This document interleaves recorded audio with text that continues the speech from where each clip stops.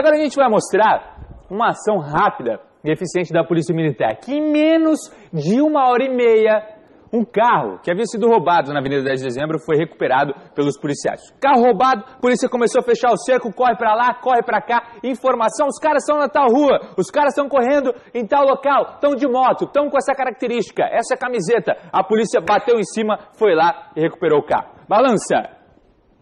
Polícia Militar aqui no Jardim Castelo, mais precisamente na rua Araúna. A história é a seguinte: esse carro aqui é um veículo Jetta. Esse carro foi tomado de assalto há mais ou menos uma hora. Foi no cruzamento da 10 de dezembro com a Tremembés. Esse veículo, vem comigo, japonês. Vamos mostrar aqui dentro?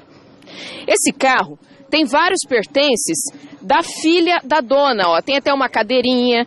No porta-malas também, segundo informações, tem um carrinho de bebê no valor de dois mil reais. Ela estava muito preocupada. O carro tem seguro, tem bloqueador, e aí a própria polícia falou para a dona desse veículo: não, pode ficar tranquila, vamos dar uma vasculhada, fazer uma varredura aqui na região para a gente ver se acha esse veículo antes de você bloquear o carro. Foi justamente o que aconteceu.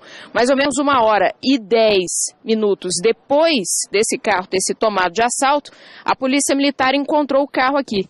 Desse jeito, todo escancarado aqui na rua, não há indícios de ninguém, os bandidos correram, fugiram, ninguém viu nada.